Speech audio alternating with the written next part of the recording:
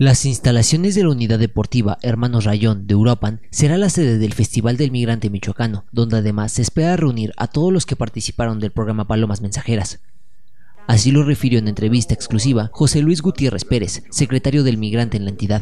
Eh, por primera vez lo haremos en la ciudad de Uruapan porque queremos llevar eh, los servicios, eh, los eventos a donde realmente están los migrantes. No quiere decir que Morelia no haya, pero tenemos una región eh, con un gran número de migrantes que es la región de Apaxingán, o sea, Tierra Caliente, y también una Moseta Pubepecha donde hay muchos migrantes, hay mucho activismo.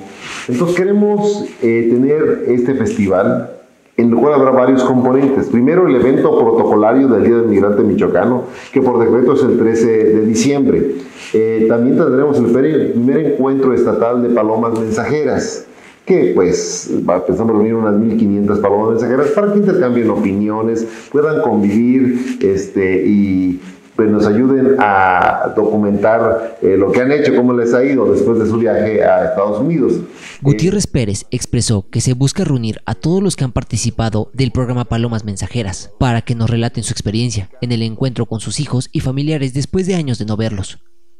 Agregó que para esta gran fiesta del migrante se va a llevar un convoy con todos los servicios para ese sector de la población. Estarán a disposición de los michoacanos, abogados mexicanos y norteamericanos, un stand del registro civil, servicios médicos y toda clase de eventos culturales para que las familias convivan.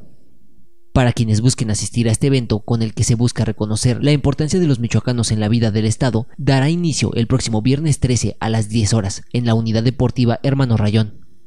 Con imágenes de Antonio Sánchez e información de Cecilia Sierra, Agencia Cuadratín. Grupo de Oro presentó